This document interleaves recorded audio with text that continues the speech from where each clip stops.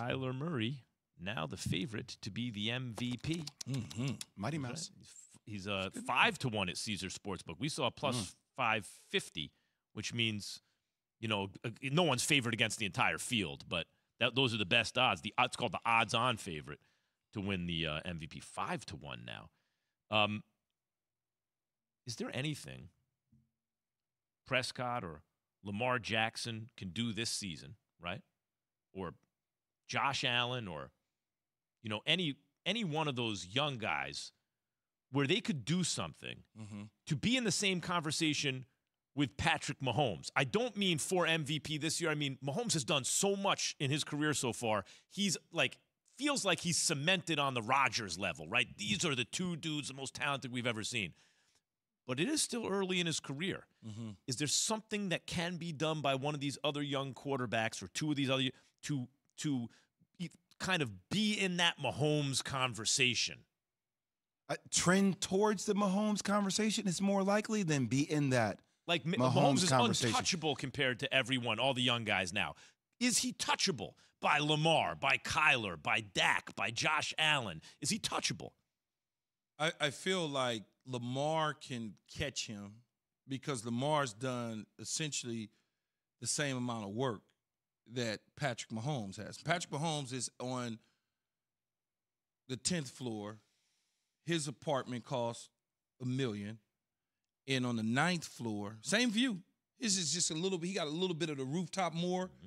And Lamar is right underneath at 9.5. But same, they got this kind of the same view mm-hmm. where Lamar can catch him because Lamar's got the MVP. He's won multiple play. Or he's been in the playoffs multiple times. He won a playoff game. He's now so, beating Mahomes head to head. So he's there. When you start talking about Josh and you start talking about Kyler, they're so those two to me are so far out in front of them right now because when you look at a short period of time that Mahomes has been in the league and Lamar's been in the league, they've done a lot. Fair enough. Dak. Still. Can I jump in for still. a second here? I, I, I hear what you're saying on Lamar Key because individually, talent wise, his talent is off the charts. But this is also team sports, and one of the things we do in team sports is we talk about how can you, t- what level do you take your team to? Patrick Mahomes has been in the Super Bowl multiple times. Like we've talked about him having a chance to, he could have had three Super Bowl championships, right? Like, so I, I, think that puts him in a category that is not reachable by Lamar unless he gets his team to a Super Bowl. Well, and I think because it's about team success I, as well. And I think Lamar at some point in time he will. But All I'm saying that's why I got him on the tenth floor. 10th floor. He on the ninth floor. You know how you can buy something. The tenth floor. You basically the ninth floor is the same as the tenth floor. Your view might be a little bit better than mine because you clear the rooftop. I'm kind of looking a little bit I'm yeah, I kind of, you know, ah. I kind of got it, but yours is just a little yep. bit better. It's a good analogy. That's kind of where I feel like Patrick Mahomes is because here's what I would say, and James will probably kill me, K I L T kilt, is that Patrick Mahomes has more to work with than Lamar. Lamar, in my opinion, has done more with less, even though Patrick's won an MVP and has been to two Super Bowls and also was on the verge of going to three. He has more to work with. Mm-hmm.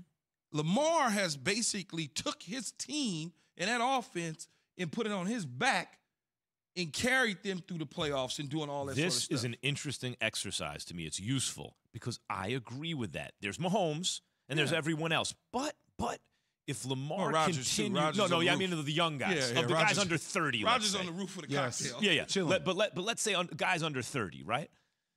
But Lamar is the guy, and this is an interesting season for him because he won a playoff game last yeah. year. He beat Mahomes this year.